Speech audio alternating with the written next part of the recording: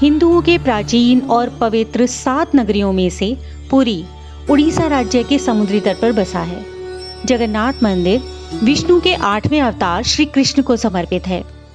पुराणों में इसे धरती का वैकुंठ कहा गया है और यह भगवान विष्णु के चार धामों में से एक है। राजा इंद्रद्युम्न मालवा का राजा था, जिनके पिता का नाम भारत और माता का नाम सुमति था। एक रात भगवान विष्णु ने उनको अपने सपने में दर्शन दिए और कहा, नीलांचल पर्वत की एक गुफा में मेरी एक मूर्ति है, जिसे नील माधव कहते हैं। तुम एक मंदिर बनवाकर उसमें मेरी यह मूर्ति स्थापित कर दो। राजा ने अपने सेवकों को नीलांचल पर्वत की खोज में भेजा। उसमें से एक था ब्राह्मण विद्यापति। विद्यापति ने सुन रखा था कि सवर कबीले के लोग नील माधव की पूजा करते हैं। और उन्होंने अपने देवता की इस मूर्ति को नीलांचल पर्वत की गुफा में छुपा रखा है। वह यह भी जानता था कि सवर कबीले का मुखिया विश्व वसु नील माधव का उपासक है और उसी ने मूर्ति को गुफा में छुपा रखा है। चतुर विद्यापति ने मुखिया की बेटी से विवाह कर लिया। आखिर में वह पत्नी के ज़रिए नील माधव की गुफा तक पहुँचने में सफल हो गया। उसने मूर्ति चुरा ली। और राजा को लाकर दे दी। विश्व वसु अपने आराध्य देव की मूर्ति चोरी होने से बहुत दुखी हुआ। अपने भक्त के दुख से भगवान भी दुखी हो गए। भगवान गुफा में लौट आए। लेकिन साथ ही राजा इंद्रद्युम्न से वादा किया कि वो एक दिन उनके पास ज़रूर लौटेंगे। बशर्ते कि वो एक दिन उनके लिए विशाल मंदिर बनवा दे। राजा ने मंदिर बनवा दिया। और भगवान विष्णु से मंदिर में विराजमान होने के लिए कहा।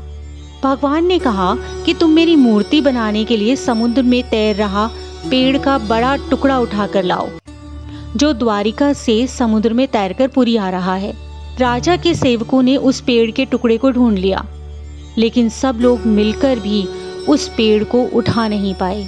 तब राजा को समझ में आ गया कि नील माधव के अनन्य भक्त सवर कबीले के मुखिया विश्व वसु की ही सहायता लेनी पड़ेगी। सब उस वक्त हैरान रह गए जब विश्व वसु भारी भरकम लकड़ी को उठाकर मंदिर तक ले आए। अब बारी थी लकड़ी से भगवान की मूर्ति गढ़ने की। राजा के कारीगरों ने लाख कोशिश की, लेकिन कोई भी लकड़ी में एक छेनी तक नहीं लगा सका। अब तीनों लोग के कुशल कारीगर भगवान विश्वकर्मा एक बूढ़े व्यक्ति का रूप धर कर आए। उन्होंने राजा को कहा कि वे नील माधव की मूर्ति बना सकते हैं। लेकिन साथ ही उन्होंने अपनी शर्त भी रखी कि 21 दिन में मूर्ति बनाएँगे और अकेले में बनाएँगे। कोई उनको बनाते हुए देखेगा नहीं। उनकी यह शर्त मान ली गई। लोगों को आरी, छेनी और हथौड़ी की आवाज़ें आती रहीं। राजा इंद्रद्युमन की रानी गुंडीचा अपने आप को रोक नहीं पाई। वह दरवाजे के पास गई तो उसमें कोई आवाज़ सुनाई नहीं दी। वह घबरा गई। उसे लगा, बूढ़ा कारीगर मर गया है। उसने राजा को इसकी सूचना दी। अंदर से कोई आवाज़ सुनाई नहीं दे रही थी। तो राजा को भी ऐसा ही लगा। सभी शर्तों और चेतावनियों को दरकिनार करते हुए राजा ने कमरे का दरवाज़ा खोलने का आदेश दिया। जैसे ही कमरा खोला गया तो बूढ़ा व्यक्ति गायब हो गया। और उसमें से तीन अधूरी मूर्तियाँ पड़ी हुई मिली। भगवान नील माधव और उनके भाई के छोटे छोटे हाथ बने थे, लेकिन उनकी टांगे नहीं, जबकि सुभद्रा जी के हाथ पैर बनाए ही नहीं गए थे। तब से लेकर आज तक तीनों भाई बहन इसी रूप में विद्यमान हैं।